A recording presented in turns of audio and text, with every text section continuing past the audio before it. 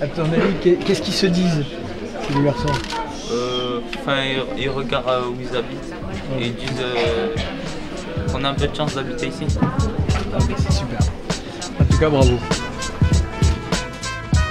Remue-ménage à la médiathèque Grand M à la Reinerie. Au milieu des livres et des CD, on inaugure l'expo photo des jeunes du quartier.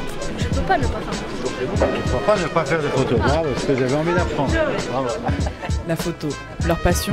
Pourtant, il y a six mois, Jawad et les autres n'avaient jamais entendu parler de cadrage, de diaphragme, d'ouverture, d'ISO. Quand on appuie sur le bouton, qu'est-ce qui se passe Clic, clac, il y a un rideau qui s'ouvre et qui laisse rentrer la, la lumière. Pensez à votre carnet. Ce qui se passe dedans, c'est la même chose. Au début du mois de mars, une cinquantaine de collégiens et lycéens des quartiers Bellefontaine, Mirail et Rennery passaient leurs vacances sur les bancs d'une école éphémère, celle du célèbre photographe Reza. C'est clair? Oui Parmi ces jeunes, Jawad nous avait intrigués en filmant notre caméra avec son appareil photo. Là, je vais faire une vidéo. Une vidéo. Parce que déjà, j'aime beaucoup la photo. J'ai les appareils photo à la maison et ça.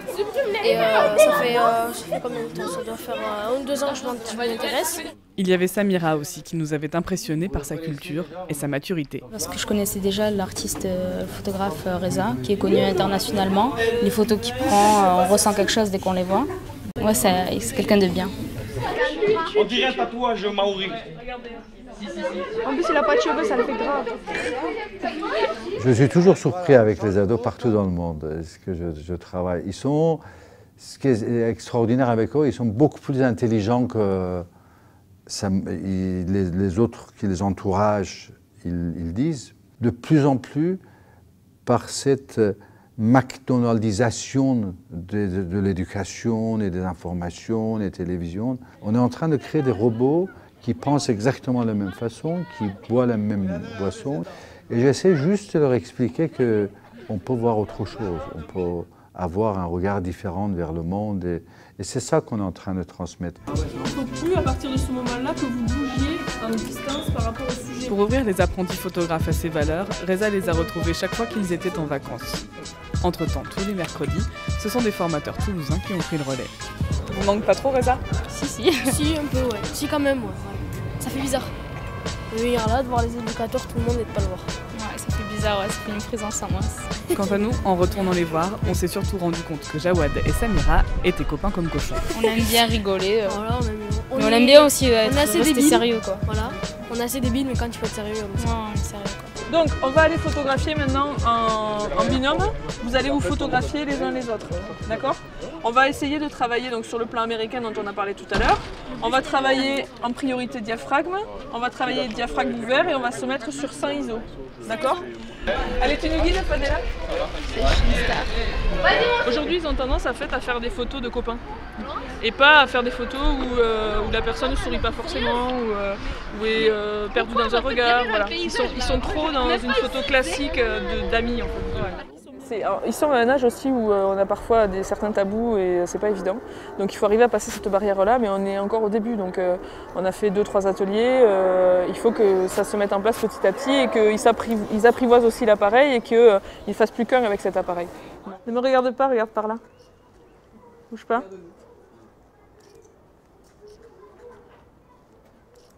Magnifique, quel beau gosse. Allez, viens. Aïe aïe aïe, mais t'as qu'à te cacher derrière moi, tu verras pas. Allez, viens. Sors ton appareil. Il va falloir que tu me diriges un peu, moi je sais pas faire. hein. Maintenant, comment tu me places? Ah non, droit, droit, normal.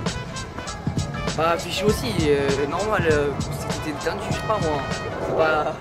C'est toi qui me dis.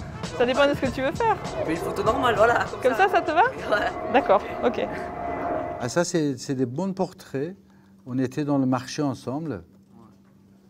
Puisque tu les fais bien, comme ça, si tu continues chaque fois que tu vois dans, dans une vitrine, euh, il y a plein dans le marché, et tu fais tous comme ça.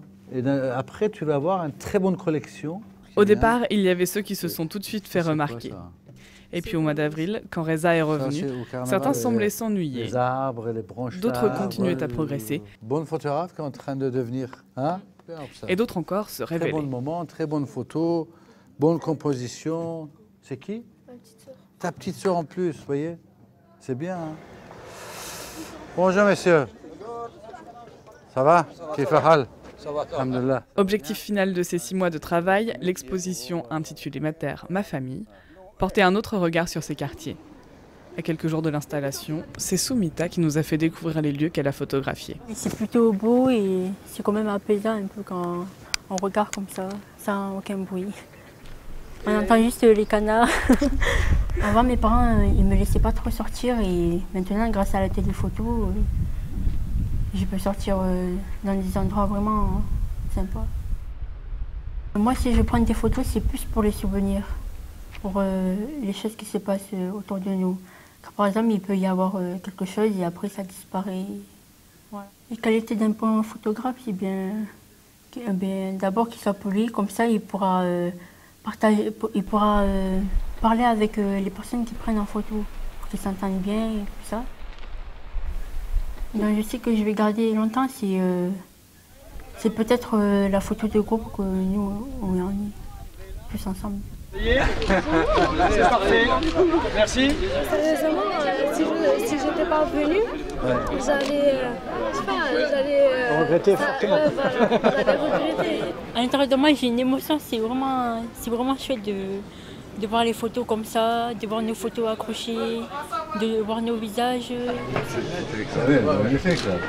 C'est un bonheur total. Et je crois que tous les artistes du monde entier, de toute l'histoire, la première fois qu'ils ont vu leurs œuvres exposées ou montrées, ils ont eu cette, euh, Cette émotion. cette émotion. Et j'essayais de me rappeler quand était la première fois que j'ai exposé. J'essaye de me rappeler encore de, de- de ce moment où, euh, j'avais exposé et que je m'étais caché quelque part et je pleurais quand, quand je voyais les gens y passent et ils regardent mes photos. Et ces photos-là, qu'est-ce qu'elles racontent de, de ta vie au quotidien Elle raconte beaucoup de choses. Comme par exemple, euh, enfin, la vie euh, comme la photo avec ma petite sœur. Ça, c'est une photo que j'ai vue qui est vraiment qui est- que j'aime bien. Parce que je la vois avec son doudou, c'est une scène de tous les jours, mais là je l'ai prise en photo. Donc, euh, Tu l'as immortalisée. oui, voilà. Qu'est-ce que ça te fait de voir ta photo exposée ici là Mais je suis trop contente parce que j'ai j'ai pas fait euh, tout ça pour rien. Au moins, il y a une photo qui a été choisie. Voilà. C'est triste parce que ça fait six mois et on était attachés avec ce projet et de voir que c'est fini, ça- c'est vraiment triste, mais on va rester avec les photos. Ils sont rentrés dans les recoins des, des- des quartiers. Ils ont, ils ont, ils ont pris des, des, des- des- des- des- des points stratégiques dans, dans le quartier qu'on ne soupçonne pas et qu'on ne croit pas que ça existe. Et par exemple, pour vous par- euh, il y a beaucoup de, de photos où on voit du verre, par exemple. Et on a l'impression qu'on est cerné que de, de gris, de béton. Et au foot, voilà, euh, j'ai euh, j'ai décidé de prendre mon appareil photo et euh, je me suis placé en contre-plongée pour qu'on voit le paysage de Ah, d'accord. C'est- Elle est super. À ton avis, qu'est- qu'est-ce qu'ils se disent, les garçons? Euh, Enfin, ils, ils regardent où ils habitent et ils disent euh, qu'on a un peu de chance d'habiter ici. Ah, mais c'est super. En tout cas, bravo. Le jour de l'inauguration, Hamza nous a confié que lui et ses copains allaient continuer à se retrouver les mercredis pour faire perdurer les ateliers Reza. C'est magnifique. Et comme je dis, ce n'est que le début d'une grande histoire avec eux. Ils vont changer leur quartier, eux, ces jeunes.